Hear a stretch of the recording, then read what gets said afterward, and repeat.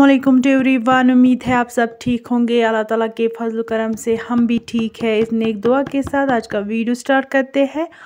आज हम बनाएँगे मीट बॉल्स जिसको कश्मीरी में माज मंज बोलते हैं, या कुफ्ते।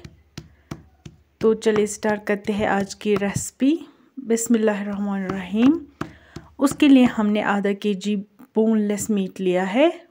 उसको हमने अच्छी तरीके से चॉप किया है चॉपिंग बोर्ड पे। और अब हम इसमें सारे मसाले ऐड करेंगे।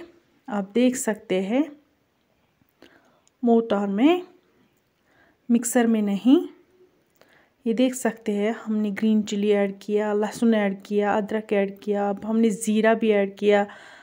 थोड़ी बहुत टर्मरिक, रेड चिली, नमक अकॉर्डिंग टू टेस्ट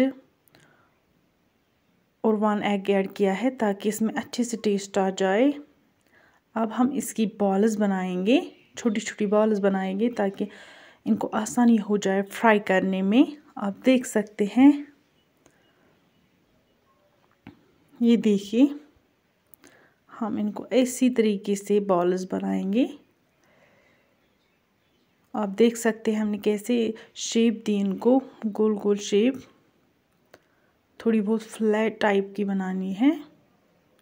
आप देख सकते हैं, अब हमने कढ़ाई ली है, उसमें हमने ऑयल डाला है, वो गर्म हो चुका है।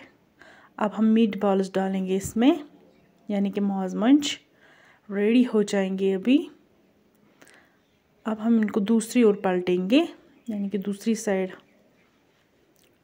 थोड़ी बहुत देर के बाद, ये देख सकते हैं आप ये बहुत ही टेस्टी है जो चैनल पे नया है। सब्सक्राइब कीजिए, लाइक कीजिए, कमेंट कीजिए, शेयर कीजिए और आप भी ट्राई कीजिए।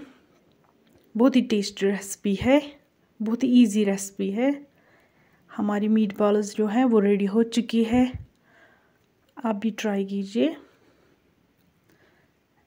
ये देखिए रेडी हो चुकी है। Fried meat balls Thanks for watching this video.